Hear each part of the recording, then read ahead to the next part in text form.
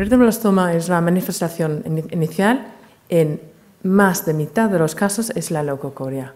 La leucocoria no, no será la retinoblastoma en la gran mayoría de los casos, pero es lo que tenemos que pensar y diagnosticar, excluir eh, principalmente.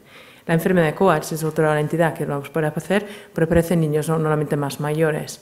La vasculación fetal persistente y la toxicariasis y una lista muy larga que seguro que la habéis visto siempre en los textos y, y realmente nos puede aparecer.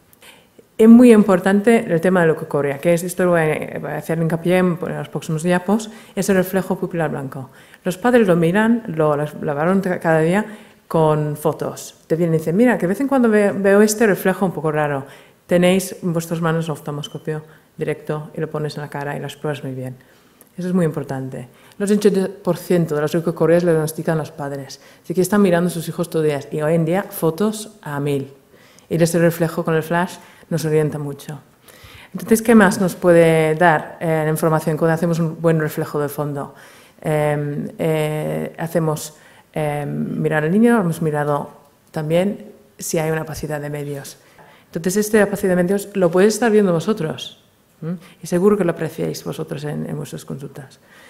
Entonces, el, em, la opacidad de medio que le tenemos que diagnosticar a nivel eh, de los pediatras lo más pronto posible es la que se va a aplicar de forma importante su, su visión final. En, en, una parte sensorial, estamos hablando de la catarata congénita. Las cataratas, cuando os he dicho, lo miras, no solamente es el ojo, tenéis que, tenemos que hacer nosotros la decisión. Si tenemos que mirar más desde niño, tenemos que descartar más cosas. Si es unilateral, no hace falta descartar nada más. ¿vale? También, si es unilateral y hay familiares, miramos a los padres, comentamos con los padres y, hacemos exploraciones a ellos. Si es positivo, que si hay alguien en la familia que se ha operado o vemos a una catarata menos significativo para la visión, pero lo tiene, no tenemos que hacer más pruebas. Pero si es negativo, sí que tenemos que hacer pruebas para descartar problemas posiblemente que sean eh, metabólicas o hemos tenido infecciones durante la gestación y hacemos cirugías. La cirugía de la catarata es para quitar el cristalino tiene algunas cosas eh, particulares para ello. No solamente quitamos cristalino, eh, hacemos una capsulotomía posterior y tenemos que hacer una vitrectomía, sino estos ojos vuelven a pacificar. Es muy importante eh, para la visión cuando se opera. Si es un literal, lo he dicho muy pronto, antes de seis semanas de edad. Si es un bilateral, puede esperar hasta antes de las diez semanas, pero operando los dos ojos de forma secuencial lo más, el, labor nuestro más importante, pienso, en la catarata congénita, no es la cirugía, que tiene su mérito, es la rehabilitación visual. Puedes hacer eh, fantástico cirujano, hacer todo perfecto, pero si no estás adepto a la rehabilitación visual, lo que había comentado doctor Visa, la ambliopía se te va a hacer el pronóstico visual para este ojo. Algo más. A veces estás mirando con reflejo aún y ves si hay diferencias en su forma o su tamaño de la pupila. De la, pupila.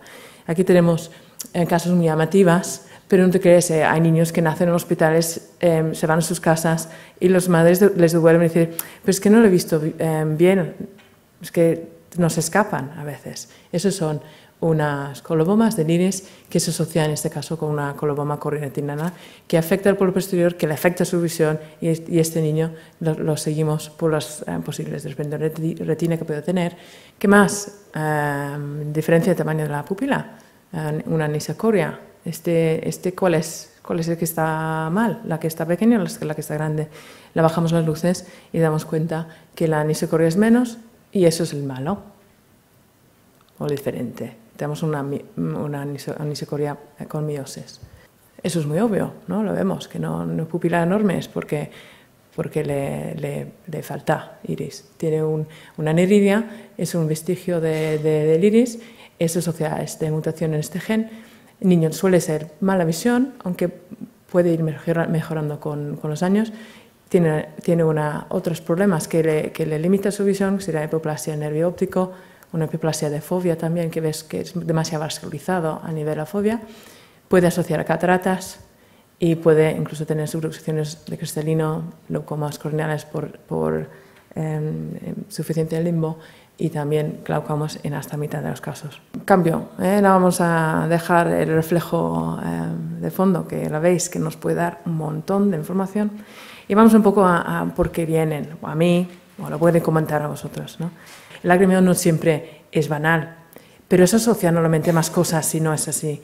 En eso es un, un caso muy, muy clásico. Es un lagrimeo con fotofobia. Ese niño está rabiado cuando se acerca la luz. No, no es simplemente que hacen así cuando sale en cochecito, no, se, se, manifiesta mucha molestia. Y el problema es que la, el ojo derecho también no es simétrico. ¿No lo veis aquí? Este córnea es más grande. Y eso es una glaucoma congénita. Otro comentario. Los ojos siempre rojos, eh, le pican, les cuecen.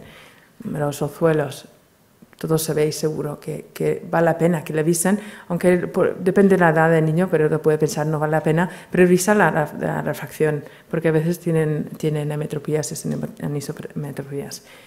Entonces ahora tenemos un, una, un, paciente de cualquier edad que, que, la, que, esperamos algo más de su visión. Tenemos que pensar en otras cosas, cosas asociadas que nos puede dar, orientar una patología a otra si, si cambia la, la, la, actitud en distintos cambios de nivel de luz, que, la, que, que podemos ver más en, en distrofias de retina. Si tienen fotofobia, puede ser distrofias, puede ser eh, otros problemas. Nistagmos un, nos orienta a la baja visión a veces, si no es una nistagmos motora o asociada a un estrabismo. Tenemos que actuar siempre, como le he dicho, la exploración es importante, descartar hasta las altas hipermetropías y, y, hacer la exploración completa siempre. El fondo de ojo nos da mucha información, ¿no? Miramos básicamente qué, qué es distinto, la, parla, la, papila o la retina. Eh, ¿Qué vemos? ¿Cambios en la papila, en hipoplasia? Pues bien, ahora tenemos la causa. Eh, ¿Qué tenemos? ¿Fondo muy hiperpigmentado? Albinismo. Ah, genial, tenemos la causa. Pero muchas veces vemos fondo de ojo normal. Y pueden ser eh, críos muy pequeños. Y pueden tener varios problemas. Puede ser nivel de retina, que no vemos y luego tendrá cambios. Puede ser una afectación visual cerebral, especialmente en nuestra comunidad con muchos prematuros. Puede ser otras actitudes, de la, manera que parece que no mira, pero que tiene la próxima colmotora. Y esto, desgraciadamente, muchos niños lo hacen. Niñas, 8 o 10 años, muchas. ¿Eh? Pero tenemos que tener eh, la idea que de esto es el diagnóstico de exclusión.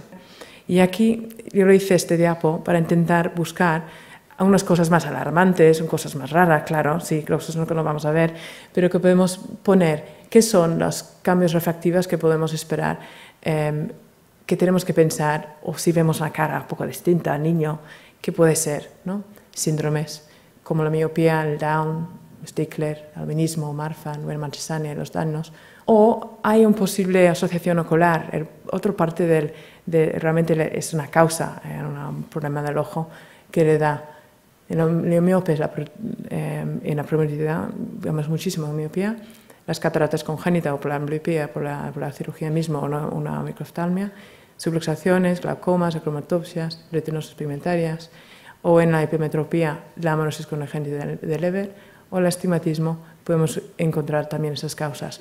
Cosas que hemos comentado, por ejemplo, la tosis, hace una presión sobre la, córnea, la hace que de, de la forma de, de y le hace que aparezca una, una, un astigmatismo.